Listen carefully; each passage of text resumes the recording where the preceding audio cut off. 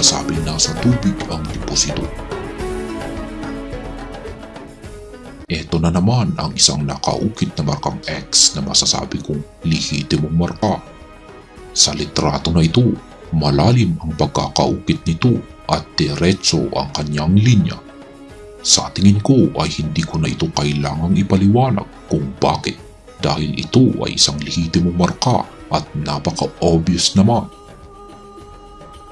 Ngayon, paano natin babasahin ang nais ipayuwatig o kahulugan ng markang X na ito?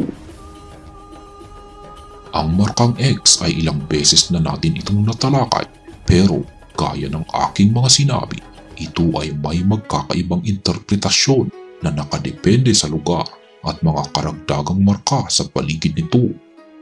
Dito sa sitwasyon na ito, ang X na marka ay nasa tubig dapat mong malaman na kapag ang isang markang X ay malapit sa isang tubig tulad nito na nasa daanan ng sapa, ibig sabihin ang deposito ay nasa ilalim ng tubig. Medyo mahirap ang proyektong ito dahil sa tubig at mabato ang lugar. Pero ang kagandahan dito ay karaniwang hindi gaanong malalim ang pagkakabaon ng deposito sa naturang lugar. Kung ako ang mag-ooperate sa lugar na ito, ang uunahin ko dito ay hanapan ko ng paraan kung paano ko ilihis ang tubig sa sapa.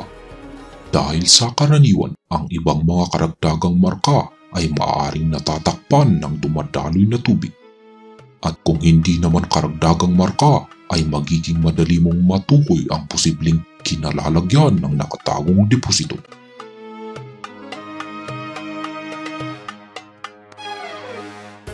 Para sa mga kasagutan sa inyong mga komento, ito ay maaari ninyong mapanood sa aking ikalawang YouTube channel na Elmo Zugwat. Sa Facebook naman ay sa aking Facebook page na Treasure Hunt Club.